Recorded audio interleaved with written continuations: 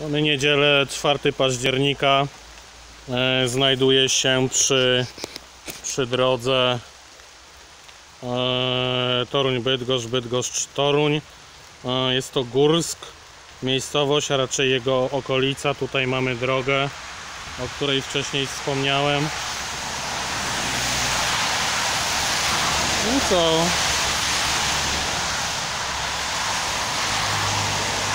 No, większość się z nas e, domyśla o co tutaj chodzi.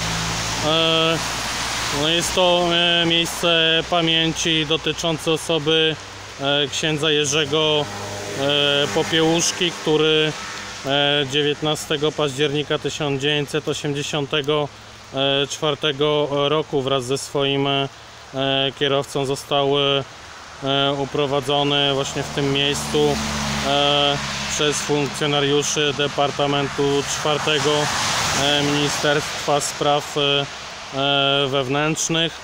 E, Sylwetki księdza Popiełuszki nie będę przedstawiał, jako że każdy e, z nas lub e, większość e, dość sporo wie o tej postaci. E, Do uprowadzenia doszło e, w dniu, kiedy ksiądz Popiełuszko wracał e, z Bydgoszczy do Warszawy, właśnie e, tutaj, gdzie niedaleko e, znajduje się miejscowość Górsk, a tam też jest e, muzeum poświęcone postaci księdza. E, 30 października e, e, ciało księdza zostało wyłowione w Zalewie Włocławskim. E, Oprawcy pojawili się prawdopodobnie na tamie e, w godzinach nocnych, w okolicy północny, północy. E, Ciało księdza e, e, wrzucili z tamy do wody. No, sekcja zwłok wykazała obrażenia ciała, które wskazywały na to, że ksiądz Jerzy był obity, torturowany.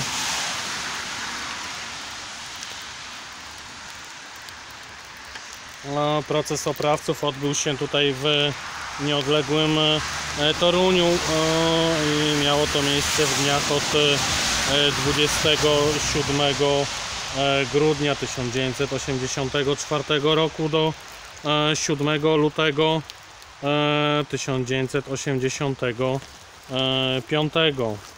E, Jeszcze po latach e, sprawa e, zabójstwa księdza, proces, e, wyroki i wiele rzeczy z tym związanych budziła wiele kontrowersji wśród e, e, obywateli.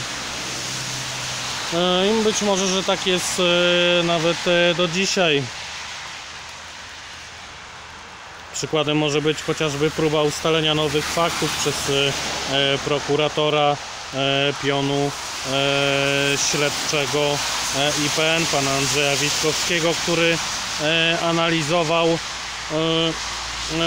te tragiczne wydarzenia, jak i e, proces sądowy zarówno na początku lat e, 90., e, a także e, po roku 2000.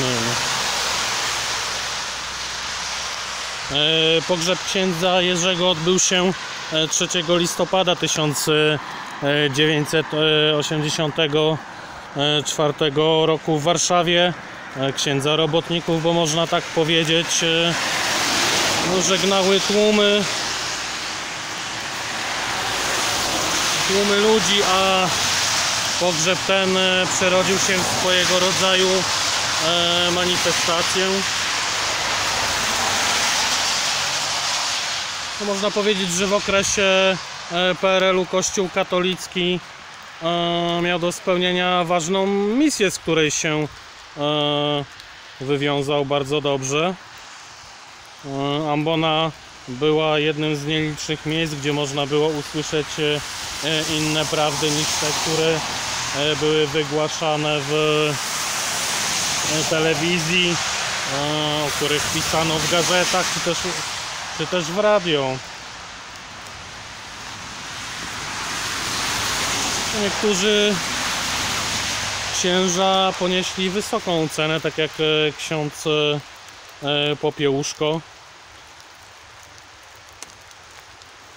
który poprzez swoje wystąpienia wlewał nadzieję w serca ludzi tego potrzebujących. No w czasach obecnych wydaje się, że Kościół w Polsce no, po części zatracił swoją misję. Dużo ludzi młodych, może niekoniecznie nawet tych, którzy pół dnia spędzają e, bawiąc się smartfonem, buszując po internecie, ale nawet tych, którzy i przeczytają książkę, no nie garnie się do kościoła. No przykładowo ja też nie jestem katolikiem praktykujących, no ale wierzę w rozum i serce. Jednakże doceniam rolę Kościoła katolickiego w historii naszego kraju. No mam tutaj na myśli pozytywne aspekty e, no, działalności Kościoła. Tutaj nieopodal znajduje się właśnie e, Górsk i e, właśnie tam podjadę za chwilę i zobaczymy co tam będzie.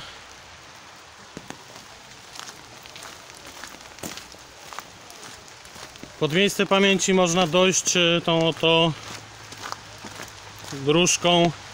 Zaraz znajdę się na parkingu, gdzie można sobie zaparkować auto.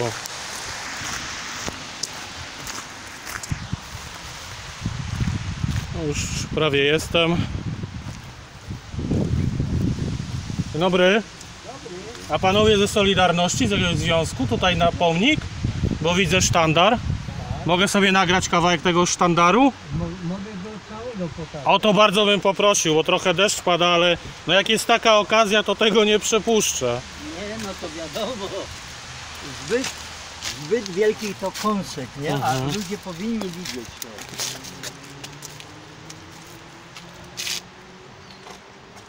Wyjmij tą sztuczkę. To- A panowie zbyt goszczy? Tak, Tak. Bydgoszczy. Region Bydgoski. O, to jest wiceprzewodniczący, a to jest reszta ekipy. Może tak najpierw odwrócimy To, drugą to stronę. jest to Mhm. i teraz przejść drugą stronę. O, a to jest to.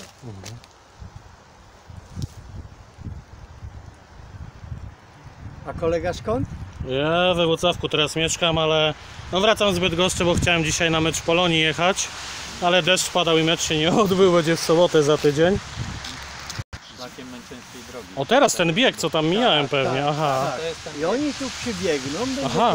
spotkanie wszystkich i potem jedziemy do Górska. Aha, to panowie czekają na nich. Tak, A to może ja też poczekam, bym sobie coś tam nagrał, bo jak może być najbardziej. ciekawe. Te rzeczy trzeba dokumentować, bo to będzie kiedyś historyczny zapis, który nie może być zlikwidowany. A pan pamięta księdza Jerzego? No oczywiście, że pan. A, mia, a, mia, a miał pan z nim spotkanie osobiście, czy... Wczoraj? Tak, wczoraj wróciliśmy dopiero z Warty przy grobie księdza Jerzego w Warszawie. Aha, Tu właśnie koledzy byli też. My mamy tam cztery razy do roku wyjazd na, na dobowy y, dyżur przy grobie księdza Jerzego. No I- dobrze. I w związku z tym, że jesteśmy zorientowani, to stale się zastanawiamy, co się stało Mhm. Z tymi 11 dniami od chwili porwania tutaj, uprowadzenia tutaj, do odnalezienia zwłok w Wrocławiu. Mhm. Nie ma żadnych wiadomości. Władza uchwaliła to bardzo dokładnie, zamknęła, jest tabu, nie wolno. Nie wiemy jak to długo potrwa, czy to będzie tak długo jak z wyjaśnianiem e, śmierci Sikorskiego czy innych ludzi. No to jest też ciekawa sprawa, bo Anglicy rzeczywiście przesunęli w czasie. Następna, E. następna kwarantanna. Tak, tak, 50 tak. lat kolejne, nie? Ale to wynika, 50 lat to wynika z tego, że oni Mhm. świetnie wiedzą, natomiast chcą uniknąć Mhm. odpowiedzialności. Być może no ten problem jest dosyć e, złożony zapewne lub No, też... e, najprawdopodobniej zrobiono to jeszcze rękoma Polaków. Tak, tak. Takie- no, takie- Słuchaj, Sikorski miał opo o, opozycjonistów, nie? No bo tam na jednej z wysp mm, szkockich y, najprawdopodobniej, nie? No, Tam byli przetrzymywani w takim obozie, oficerowie polscy. ale Przeciwnicy Piłsudskiego. nie przeciwnicy Sikorskiego, Piłsudczycy, nie? No dobrze, to ja może spauzuję i poczekamy na resztę. biegacze jeszcze nie dotarli, ale tutaj pojawia się grupka osób.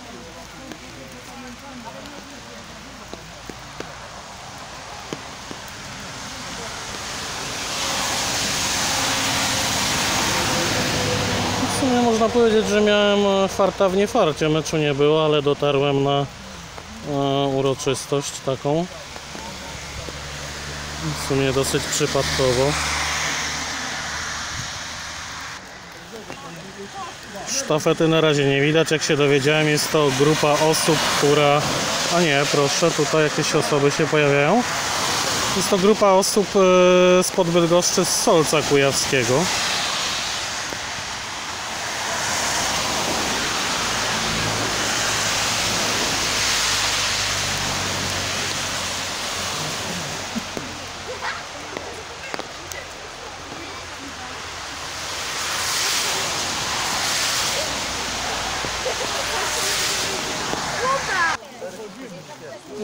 Nadchodzą kolejne osoby. No, Ludzie też są ze Żnina.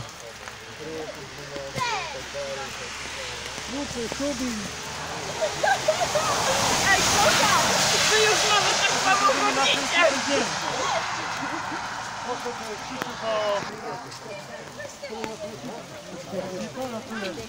Renia, Krzysiu, Andycyna. No jednak wychodzi na to, że jak powiedziałem, e, trochę młodzieży, młodych ludzi e, chce robić coś fajnego i poprzez wysiłek sportowy chce e, poznać historię ważną.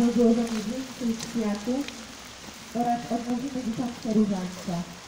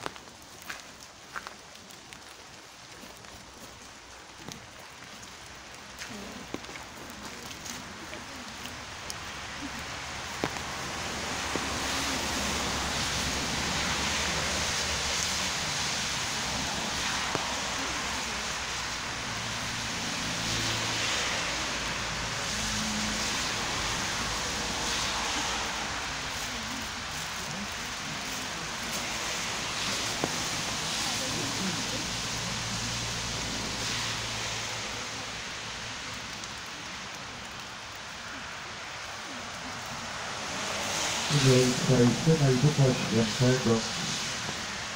Rozważajmy tajemnicę zmartwychwstania Chrystusa. Jego śmierć odgrywała się przegraną, była początkiem naszego zbawienia, większym dobrem.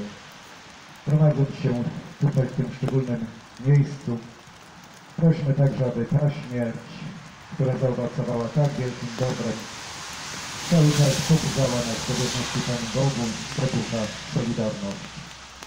Ojcze nasz, któryś jest w niebie, święć imię Twoje, przyjdź królestwo Twoje, bądź wola Twoja, jako w niebie, tak i na ziemi.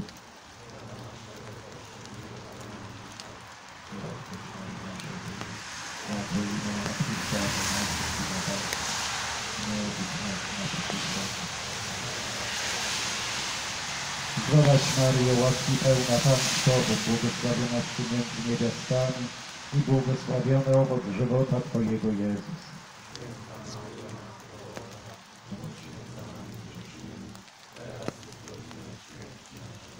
Zdrowaś Maryjo, łaski pełna Pan z Tobą, błogosławionaś Ty między niewiastami i błogosławiony owoc żywota Twojego Jezus.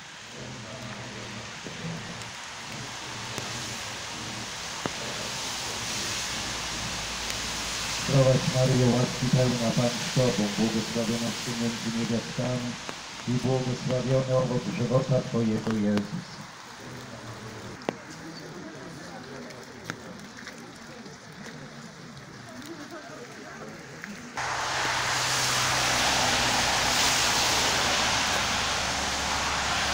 E, jak się dowiedziałem przed chwilą, to e, jest to impreza e, cykliczna. No i skoro tutaj już jestem, to poczekam na e, ludzi, którzy biegną, e, pokonując e, dystans maratoński z Bydgoszczy, z bodajże z osiedla Kapuściska, e, no, na którym też mieszkałem na studiach swojego czasu.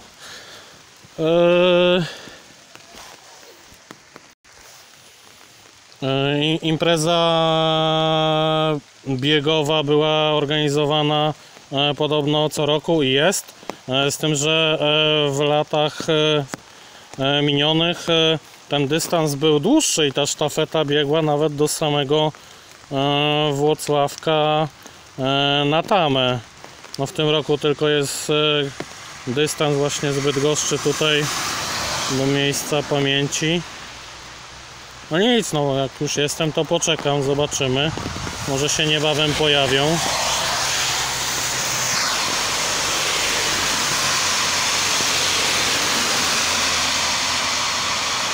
Zbliża się sztafeta, o której mówiłem.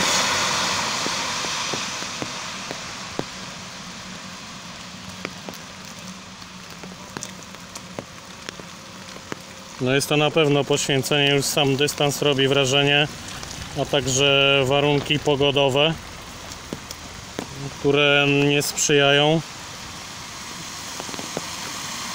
biegowi w dniu dzisiejszym. Chociaż może lepiej, bo nie jest e, znowu za ciepło. Bo październik bywa dosyć ciepły czasem.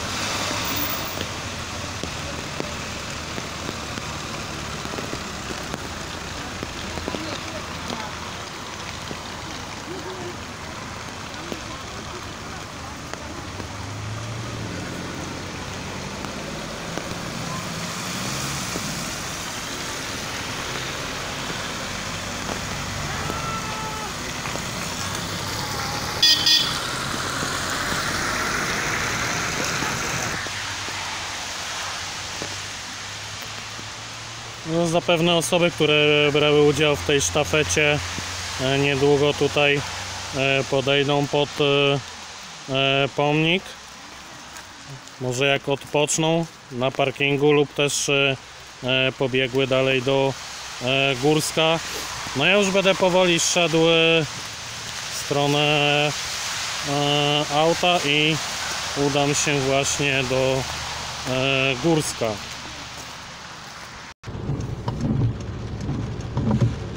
Dotarłem właśnie do Górska i tak jak myślałem, że e, biegacze ze sztafety e, udali się zapewnie, zapewne na posiłek i odpocząć. Teraz wyjdę z auta i zrobię tutaj szybką rundkę po wiosce i powiem parę zdań. E, Deszcz dosyć całkiem nieźle pada. Dlatego w sumie podziwiam tych ludzi.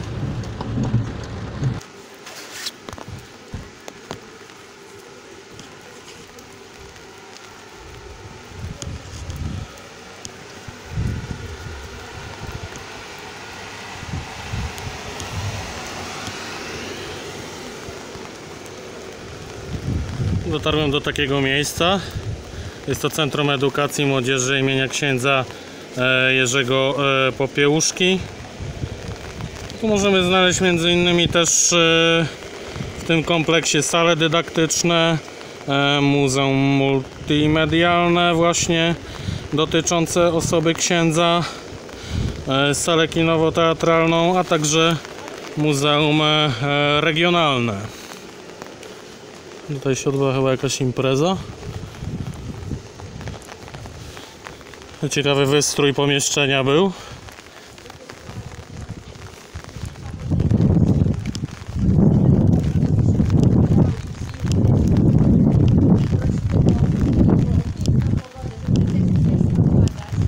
A tutaj jest impreza, zakończenie. Dziękujemy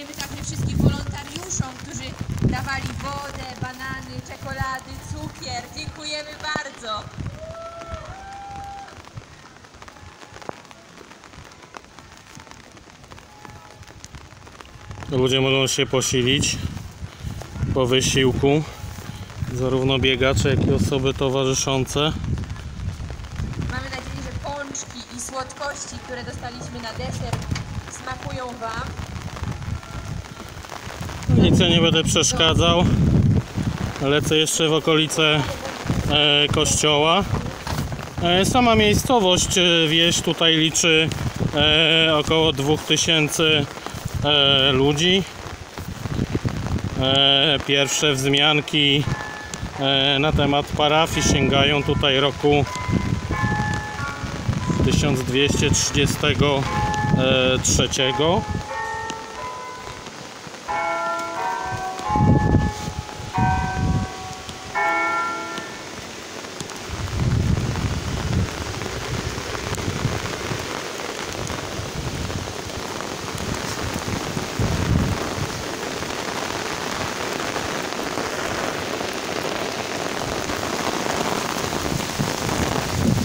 Pada coraz mocniej.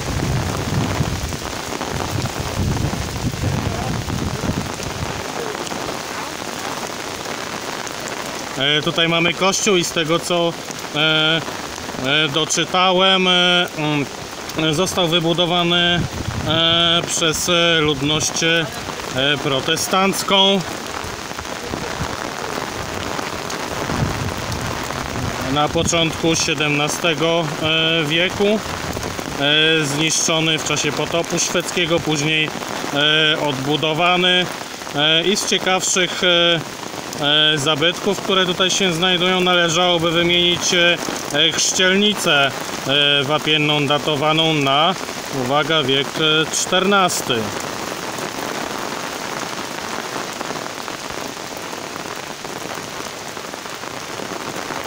Jest całkiem niezła ulewa.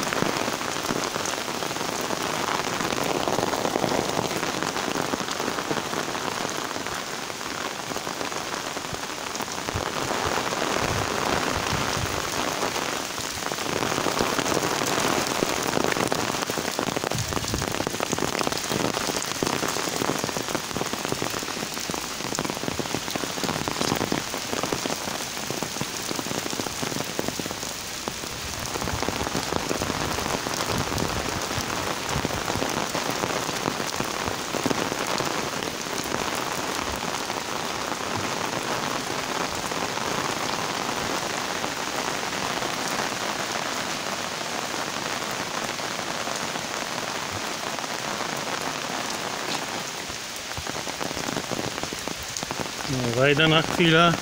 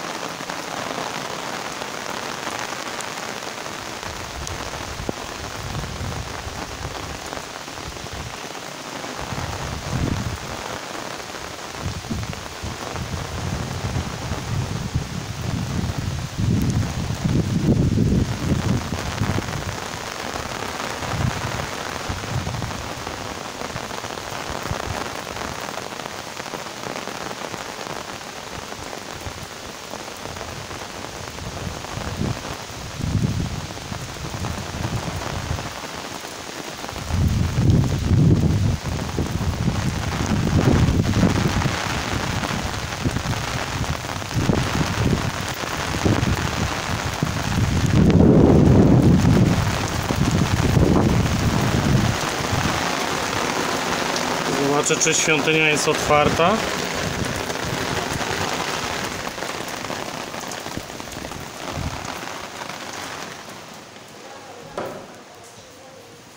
To też jest schronie przed deszczem.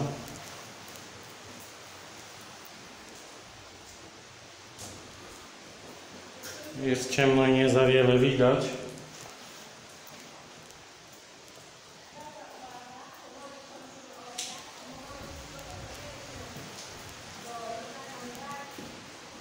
Tutaj nie pokażę za dużo. Mamy dwie chrzcielnice.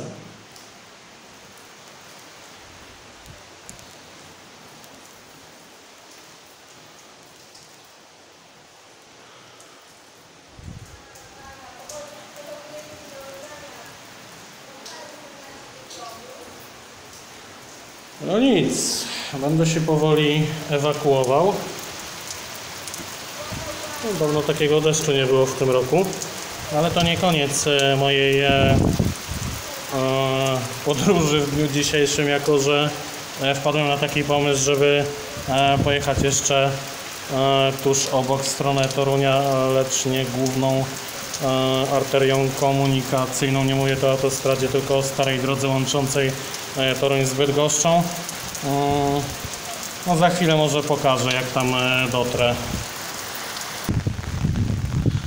E, Dotarłem w to miejsce, w które e, chciałem. Droga jest e, na etapie przebudowy. Tak to wygląda. No i jesteśmy tutaj.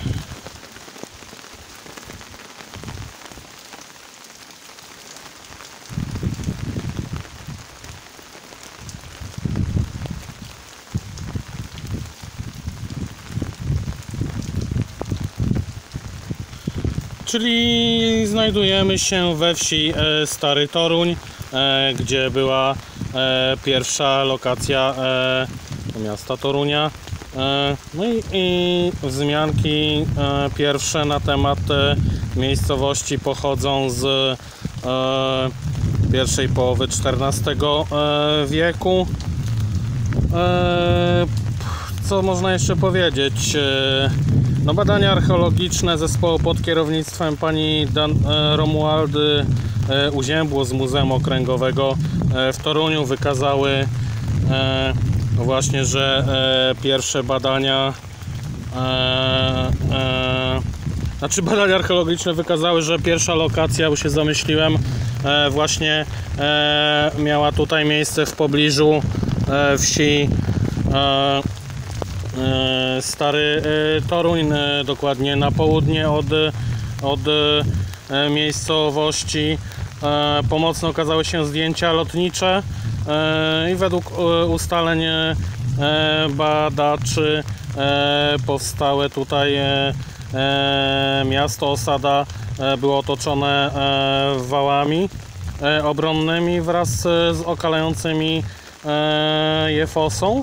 E, Przeprowadzone zostały e, e, odwierty, które wykazały obecność węgli drzewnych oraz fragmenty cegieł. Przeprowadzono także badania geomagnetyczne, które w miejscu domniemanego wału północnego wykazały, że pod ziemią mo, może znajdować się pozostałości większej budowli. I naukowcy uważają, że może być to e, ślad po dawnym e, kościele. E, W, 1300 w 1236 roku doszło do e, translokacji e, Torunia. No i powodem było prawdopodobnie e, zjawisko częstych wylewów e, e, Wisły. Pierwotna lokacja była e, prawdopodobnie podyktowana tym, że stanowiła dobre e, źródło e, e, transportu. Mowa tutaj o rzece.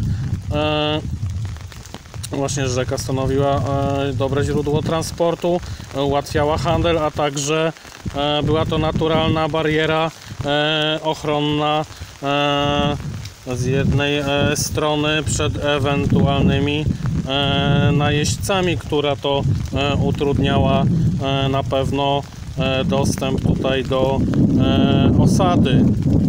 E,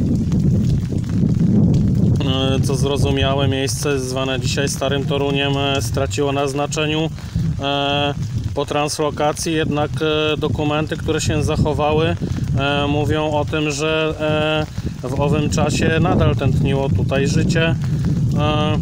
Świadczy o tym między, między innymi akt e, nadania okolicznych e, wiosek przez e, wielkiego mistrza krzyżackiego Henryka Dasnera dla tamtejszego kościoła świętego Jana Chrzciciela z 1346 roku mówimy o tym dokumencie.